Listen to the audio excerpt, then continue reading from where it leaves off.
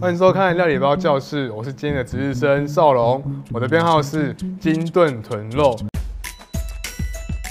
今天呢，要为大家带来一道非常简单的料理，就是我们的炒米粉。那炒米粉很非常的简单，就是主要是我们的蔬菜的部分把它炒香之后，然后加入我们的料理包，就可以很轻松的去完成这一道菜。过程基本上不用超过十分钟，所以非常的简单。首先先来切我们的这个配料，我们的这个香菇把它拍一下。那我们所有东西呢都把它切成丝。去拍一下它比较好切的，比较平，对，比较平，不会怎么会出气？我原来可以来这里多开心啊，对不对？这家都快闷坏了，笑什么？那我们热一点油，那油量呢稍微多一点没关系，因为我们的起炒米粉也是吃的比较油的话，也会比较好入口。我们的这个香菇直接下去爆香。我们的虾米泡一点水或是米酒之后，也可以下去爆，直接爆香。然后再来切我们的这个配料，葱白、葱绿，把它分开。因为葱白呢本身比较有香气，所以我们的葱白可以下去一起做这个爆香的动作，就把它都切断。然后再是芹菜的部分，我们芹菜，芹菜把它拍一下，拍一下。这样呢，它就变成丝了，一样切断。哇，好臭啊！哇，这个芹菜真是不得了，要修滚炒一下。因为我们这个虾子呢，虾米我要把它煸到它会有一点跳，那还是我们正常该出现的样子，那它才会香。把，我们的这个木耳，啊，一样切丝。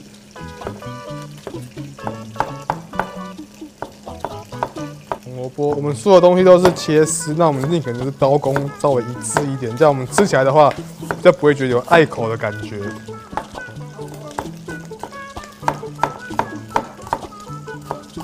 竹笋，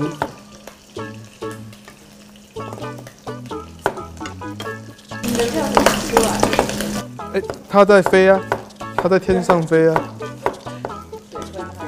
因为它嗨呀，所以它会飞呀。没有啦，那个因为它里面有水分啊，那我们要把它那个稍微煸煸香的话，就要稍微用一点时间，它会跳是正常的。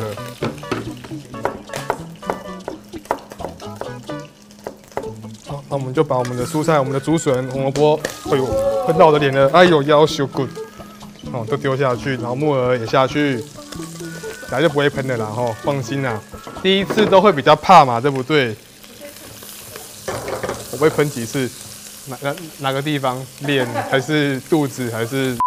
那最近高丽菜蛮贵的哈，如果没有的话，你也可以用一些可能说像是小白菜的东西来取代。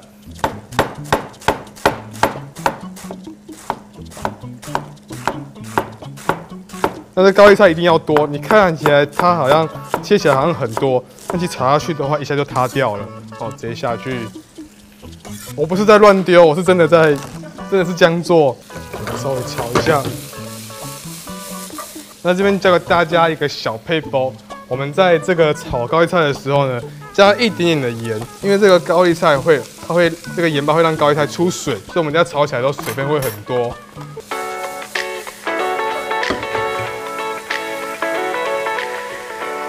会太安静了一点，讲点话嘛，啊，真是的。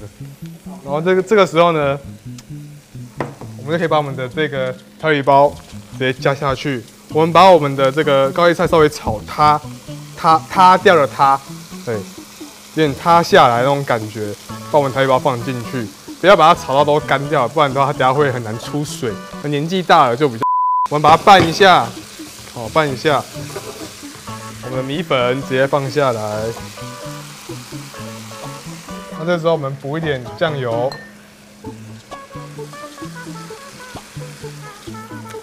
椒粉，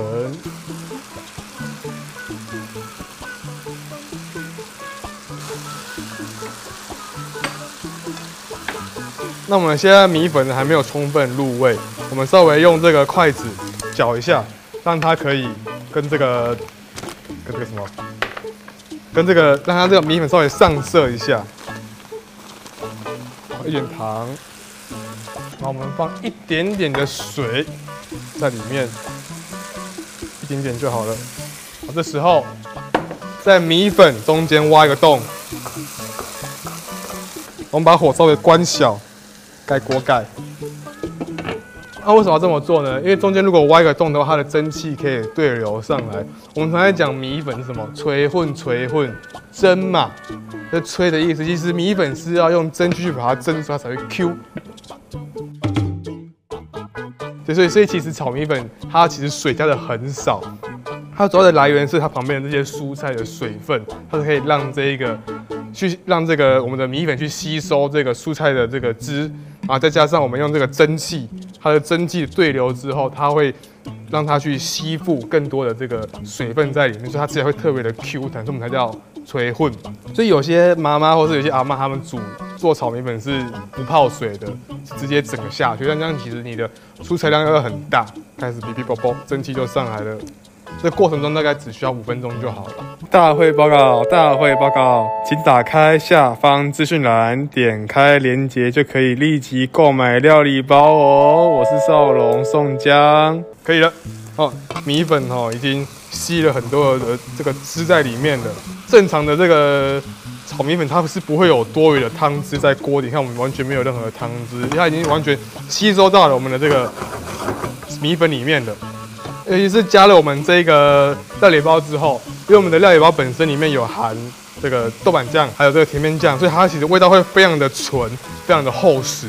所以我把我们的芹菜跟我们的葱段下去稍微断生一下，香油。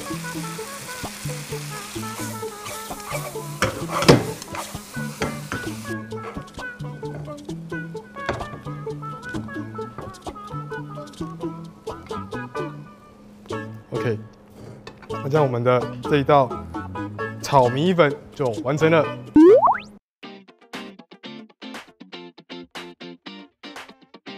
那我们接下来来试吃我们的这一道料理。嗯，真想跟我的新根分享这一道料理。